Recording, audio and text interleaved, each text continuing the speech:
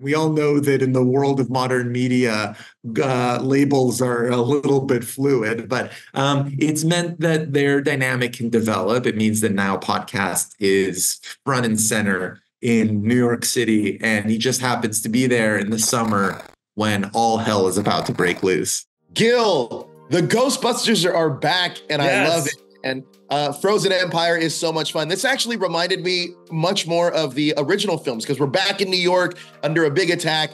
Um, and it's been three years since uh, Ghostbusters made their return to the big screen uh, in Afterlife, which continued the story of the original Ghostbusters. How do how does this film serve uh, longtime fans, but also a great entry point for new fans? Well, I think that uh, we knew with Afterlife that it was a rekindling. It was uh, leaving the home of Ghostbusters in order to find a way to refocus the story on the young Spengler family. At the center of it, Phoebe Spengler, who makes a discovery about her extraordinary lineage that led us back to this place, to New York City, where we could finally have the celebration of ghost busting that I have, as a fan, have been waiting for 40 years for. So you, what you need to know is absolutely nothing. Just to know that there are ghosts in this world, and there was an outfit that was started in 1984 that tried to do the city a deed by trapping those ghosts, putting them away so you could go on with your life. And in the couple of years since the Spenglers have returned to the city, it's sort of been status quo. But now, extraordinarily, things are about to take a turn into a much more menacing direction. And the Ghostbusters are going to encounter a threat the likes of which they have never seen before. And it's going to take every single one of them to stand a chance to survive this story. Well said. Now, I love that the original Ghostbusters is about four ordinary guys that saved New York twice over. This film focuses around an ordinary family mm. that, that is uh, saving New York as well. How do you take some of the themes from the franchise and then make them your own? The thing that has made Ghostbusters so enduring is exactly what you just said the fact that these are not superheroes. These are sure. folks like you and I who just happen to be brilliant in the direction of supernatural science and figure out through Egon's genius that there is a way to harness some of those energies and to and to trap them. But that's what makes it so relatable is that is that we're relying on a group of ordinary people that essentially form the last line between us as citizens of this world surviving or perishing forever. So the the the way to make it sort of enduring and relatable is is by holding on to that essential grounding of the the reality of these characters. And as long as uh, uh my my di- directorial compass is pointed in a in a direction of authenticity when it comes to the human stories that we're telling, uh, and that we look to the human obstacles, the interpersonal obstacles, as a catalyst for the extraordinary supernatural obstacles that we are presenting in the character's path. That is the sort of uh, DNA of a thrilling, exciting Ghostbusters story. You co-wrote this film with Jason Reitman, just like you did on Afterlife. Uh, what were some of the themes you connected with uh, in this overall story, and what was where was the starting point for you guys that you knew you wanted to go back to New York and bust more ghosts instead of taking, you know, uh, staying in Oklahoma? The Spengler family, when uh, when they arrive in Summerville, Oklahoma, in, in the first film, in, in the last film, sorry, in Afterlife, they're a family that is unmoored, right? They're sort of looking for a uh, looking for a home essentially, and they think they're going to find it maybe in this rambling old farmhouse. What they discover is not a home, but a thread that leads them to this extraordinary discovery about their own lineage, their legacy. And for Phoebe, gives an entire purpose to her life. But they end that story no closer to a home than they started. Right. And what this film gave us the opportunity to do and what we started to do in the writing of, of this story was to suggest that through this discovery of their ghost busting connection they finally have a chance at something resembling a home. Although it's not a normal you know there's no uh, white picket fence there's no lawn. We're talking about a firehouse in in in tribeca. But still it's a place to feel closer to the family that they never really knew uh, a way to feel like they've got a place to live and a place to be a family. Now, what was exciting about that is that we can then, through circumstance and through storytelling, threaten that. And so we knew from the beginning that if we can create the idea of this family feeling a sense that maybe this is a path to them feeling together, then when our evil threat begins to get closer and closer, we're going to be able to draw a line in the sand and say, what are you willing to do? How brave are you willing to be in order to defend that home? And that's Absolutely. what this story is about. I love that theme of, of coming to and finding a home. And also the iconic firehouse is back, which you mentioned. Uh, I love seeing the Ghostbusters firehouse. I remember having that playset when I was a kid.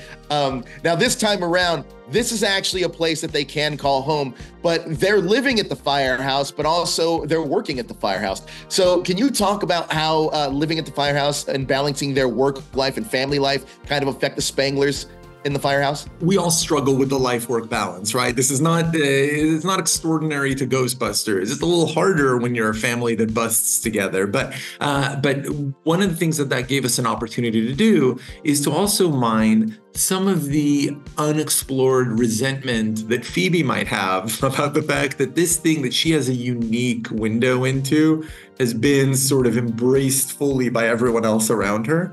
And that has added a sort of second front to some of the uh, schisms that uh, are, are beginning to bubble under the surface here in this story. But, but, you know, it's not every home that has a fire pole leading down from the bedrooms to the kitchen. It's not every home where you get to park the family car, which just happens to be Ecto 1 on the ground floor, you know, where normally you would have a living room and a television set. And that creates a really unique opportunity for these characters to both have to interact with the uh, relics of their past, uh, the ans- their ancestors past, in, in in the form of Egon Spengler and his role in being one of the original Ghostbusters, uh, and also for the um, the new Spengler family to have to figure out how to relate to each other, how to survive a, as a family who just happens to be Ghostbusters. This film does a great job of blending the comedy, action, and horror into the film. Uh, both as a director and a co-writer, how do you balance the elements of comedy, action, and horror to create a cohesive film? I had the extraordinary experience of, of watching the first Ghostbusters film as a young kid in a movie theater. My dad took me to see it, and it really like rocked my world. I mean, it scared me. I laughed out loud and I didn't understand all the jokes, but I knew they were funny. and I was totally mesmerized by that special tone. I mean, it, there was nothing else like it before, right? I mean, Ghostbusters right. was an, a, a unique film in the pop culture landscape because of its blending of those tones. So I was able to sort of channel, and Jason and I talk about this all the time when we're writing and when we're crafting these stories holding on to the experiences that we had as young audiences watching the those first films and obviously Jason and I had very different relationships to those films. I was a I was a dork from the San Fernando Valley watching the movies and Jason's was on set while his dad was directing them, but still we both have been able to hold on to that core experience and that is something that we use as a uh, as, a, as a kind of superstructure to help uh, build these new stories on. Um, and when you're writing, it's an instinct thing. You know, you know, we knew that we wanted this story to be scarier. We knew that the stakes were going to get much more visceral and more more terrifying um, because as you build up the stakes you also build up the humor it just sort of they go hand in hand because once the tone starts, the needle starts to move in one direction, it naturally wants to swing in the other. Now, given the iconic status of Ghostbusters, how do you approach introducing new characters like Kumail Nanjiani's Nadeem uh, while paying homage to the original series? I think the first way you do it is by finding the best and brightest of our comic actors. Ghostbusters has always had a really high bar in terms of performance and comic performance, especially. So we knew that Kumail was going to be a character character in the story before we started writing the script. And uh, in fact, began a series of conversations with Kumail early in our development process just to start to test the waters, to explore some directions and, and, and uh, opportunities about this uh, idea of a character who uh, inadvertently unleashes one of the most, you know, horrifying uh, creatures that this film series has ever known. Uh, and uh, so the answer to the question is by aiming really high in terms of talent uh, and knowing that if we do our job as writers, if I do my job as filmmaker, that it's going to allow a character to come to the screen that's going to hold their own with the greats of this series. Now, Kumail is new to the Ghostbusters franchise. What does he add to the group dynamic in Frozen Empire? Kumail brings a sort of a, an outsider's POV because he comes into this with a healthy, grounded skepticism. He's pragmatic. He's trying to make a buck and wants to get on with his life he is not looking for an adventure. He's not looking for a seat at the table of the end of the world. Uh, but because he happens to be in the crosshairs of this narrative, it means that he, as a totally unsuspecting citizen of this city, is going to play a frontline role in helping to save this world. Now, Phoebe has a real sense of belonging now, finding her calling being a real Ghostbuster.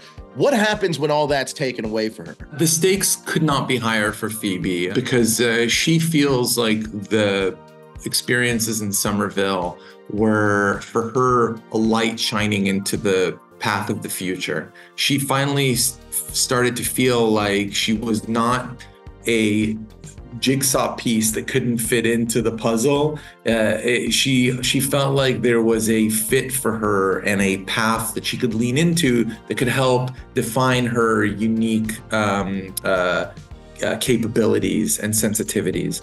Uh, and watching that threatened to be taken away from her, um, both because of uh, the uh, events of the initial ghost busting sequences that go slightly awry. And then because of the extraordinary scope of her own adventure in this story, uh, that for her creates deep personal and narrative stakes.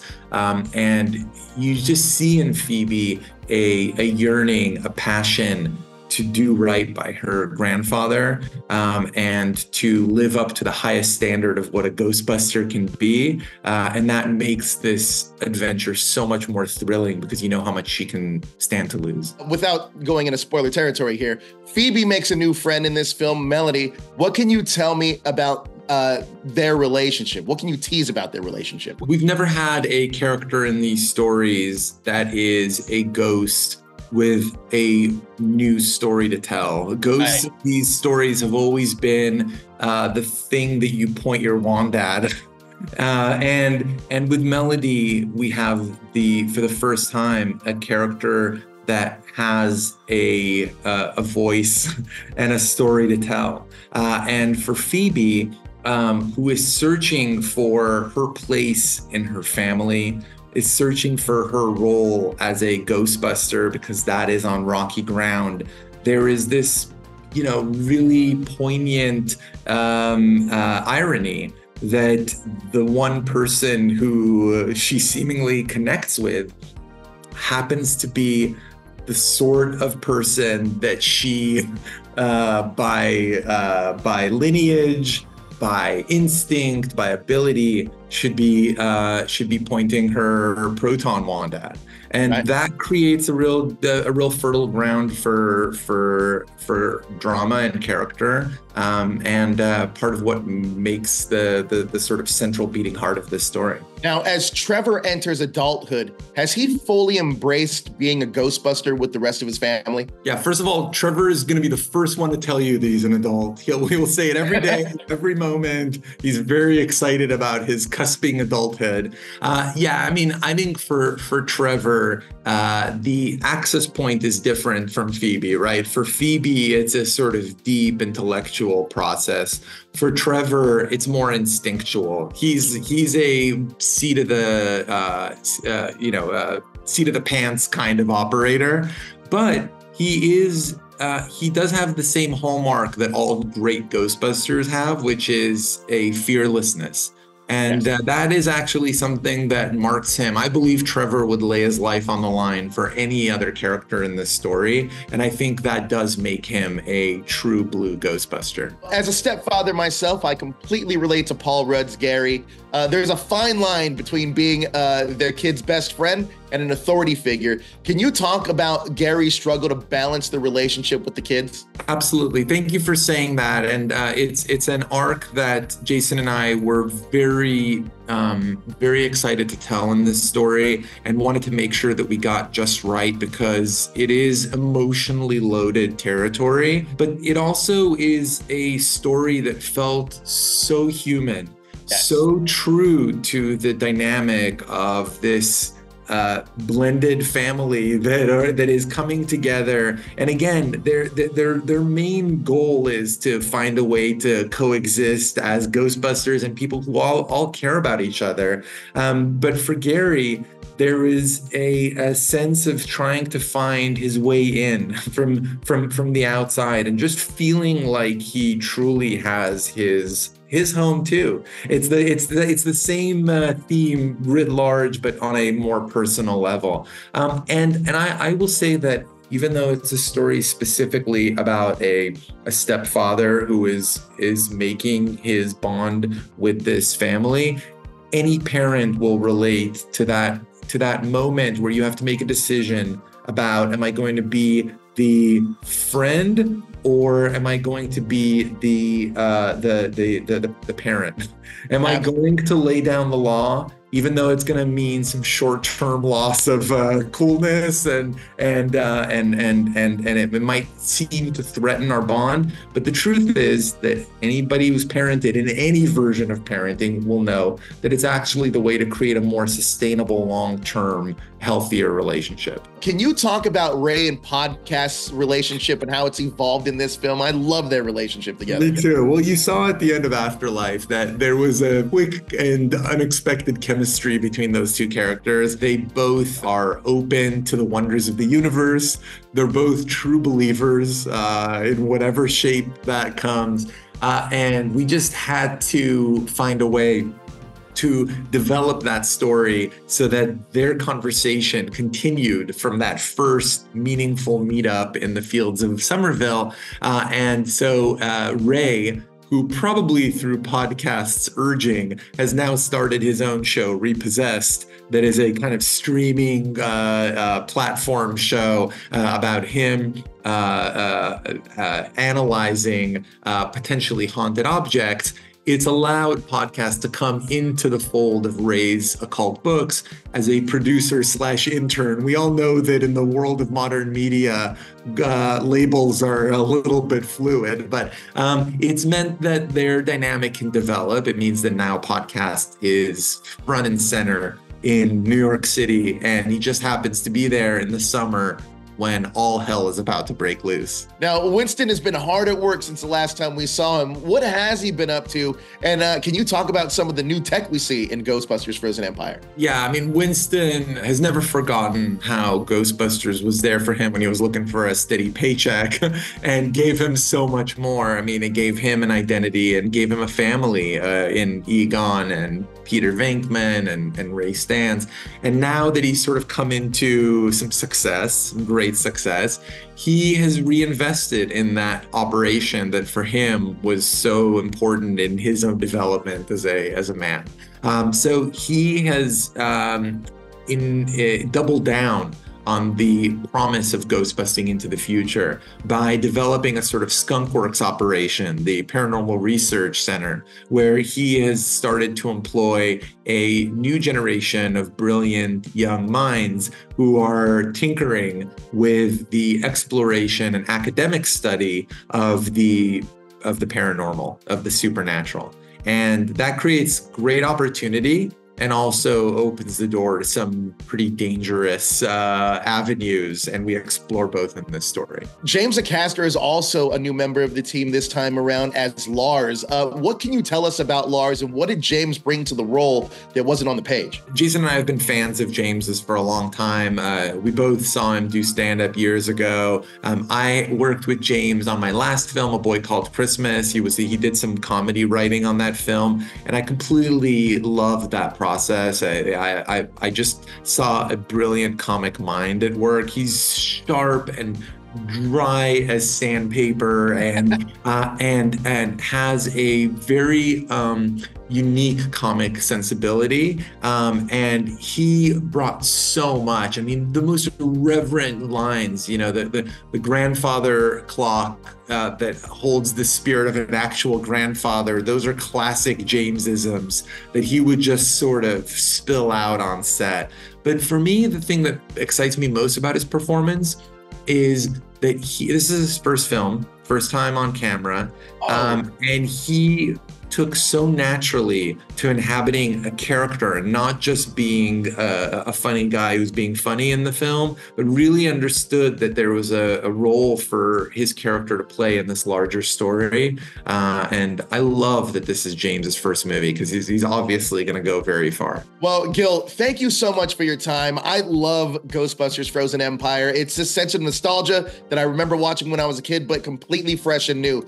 Thank you so much, man. I really appreciate it. Thank you, Joe. What a what a great chat, and I really appreciate you. Have a great day.